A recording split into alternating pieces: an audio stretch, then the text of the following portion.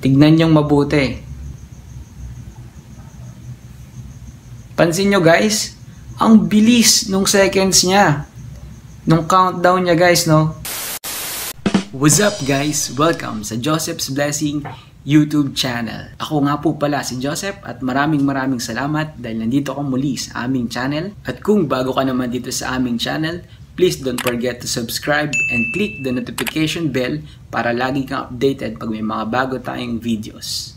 Ang content ko ay more on money making online using our smartphone or laptop na kung saan pwedeng pwede tayong kumita ng pera kahit nasa bahay lang o kahit nasaan, may internet man tayo o wala. Ang content naman ng aking asawa na si Blessing ay more on beauty tips, travel, at song and dance cover. Okay guys? Ayos ba?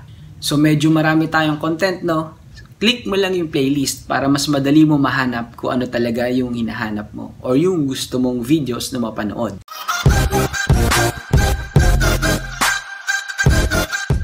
What's up guys? So for today's video ay part 2 nga po pala ito ng series natin about clip claps.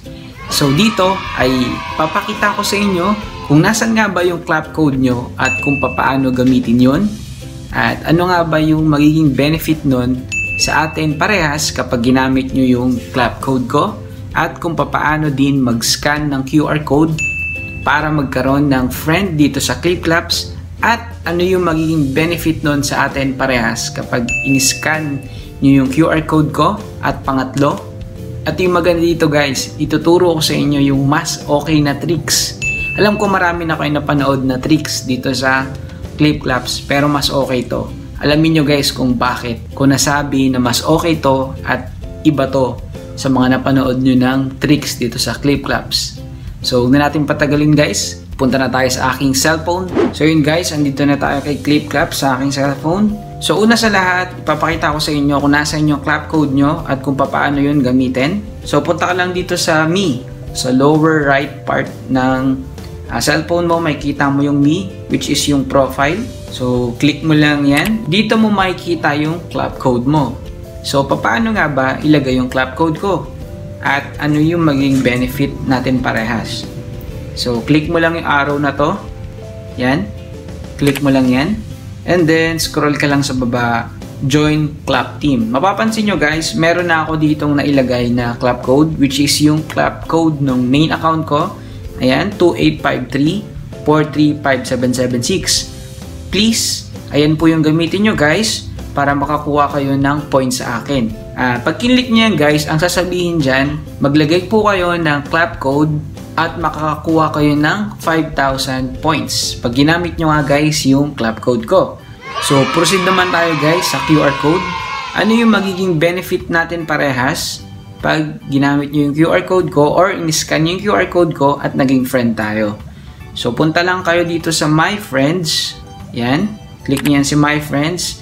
And then, Add Friends. So, dito nyo makikita guys yung QR code nyo. Yan. My code.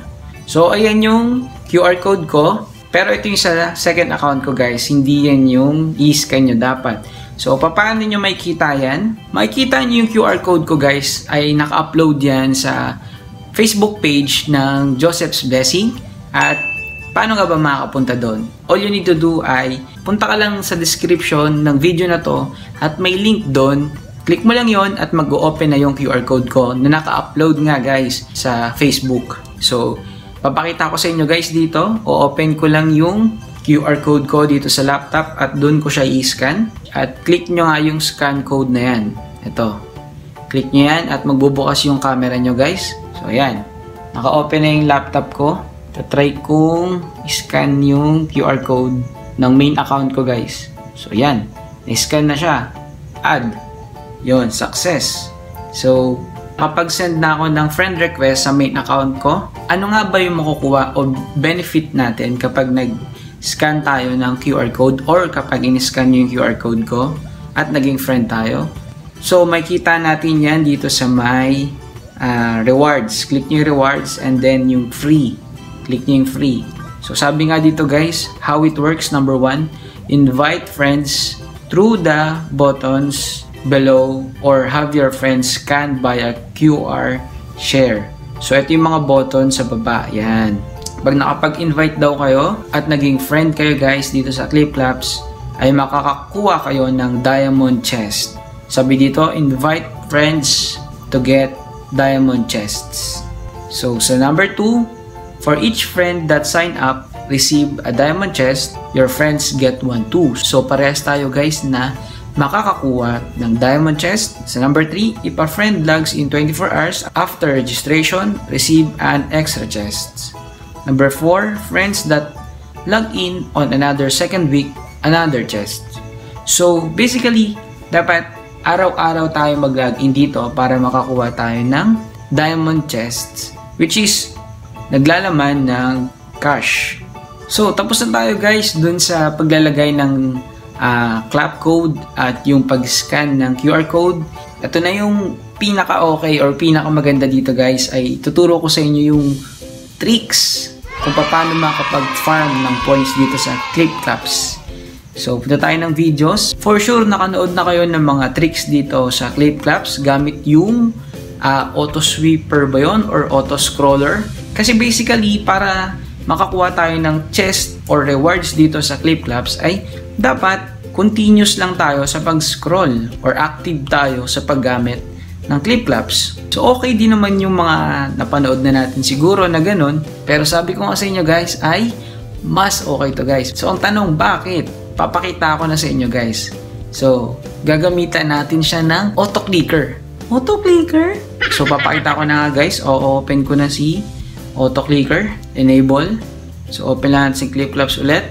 Yan. Kailangan lang natin gawin guys ay i-play natin yan.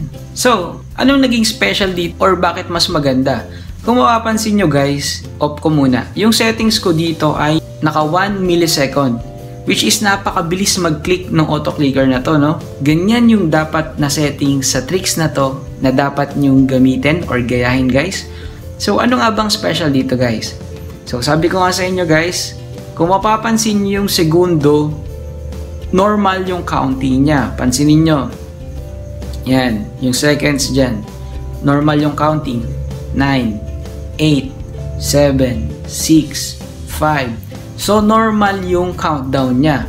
Pero, once ginamitan natin siya ng auto-clicker, tignan nyong mabuti.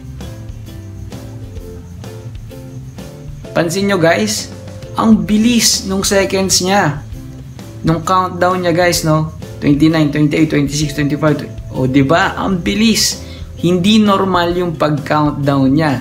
So, logically, pag mas mabilis yung countdown or mas mabilis yung uh, waiting time para makakuha ng rewards, mas mabilis din tayo makakakuha or makakapag-farm ng points.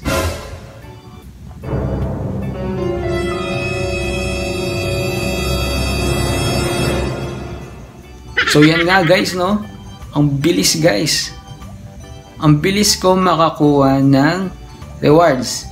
So guys, ito yung pinaka okay na tricks guys dito sa uh, clip claps compared sa iba. So logically, sabi ko nga kanina, mas mabilis yung time ng countdown niya, mas mabilis kayo makakuha ng rewards at mas mabilis kayo makapag-farm ng points. Kasi sa umpisa, uh, seconds lang yan, then 2 minutes, then naging 3 minutes, then 5 minutes, then pagtagal niyan magiging 10 and 18 minutes yan guys. So ang tagal nun kapag hindi ito yung tricks na ginamit nyo. So, I highly suggest ganitong tricks yung gamitin nyo kaysa yung mga scroll. Okay din naman yun. Gagana din naman yung tricks na yun. Pero, ang bagal kasi ng seconds doon. So, normal yung time or yung countdown doon ng pag-farm ng points. Compare dito guys, tignan nyo, mas mabilis yung countdown ng segundo. So ang kailangan nyo lang gawin dito guys, dapat uh, naka-target or nakatama yung sa pause and play button at sa replay para once na natapos yung video ay magre-replay siya. So ang bilis ng oras talaga, no? ang galing. So katulad niyan guys, hindi nakatama yung uh, target dun sa replay kaya hindi siya nag-play agad. So, mapapansin nyo guys, yung segundo natin, yung time natin sa baba, unti-unti nagpi-freeze at ang bagal nung seconds. Ayan, tumigil na siya. So, kailangan mo lang gawin ay i-post mo yan and then click, itapat mo yon and then play. Okay, close ko na to. So yun lamang guys. Kung nagustuhan nyo tong video na to, please don't forget to like, share, and subscribe and click the notification bell para lagi kang updated sa aming mga videos. So yun lamang, maraming maraming salamat at God bless. Appear!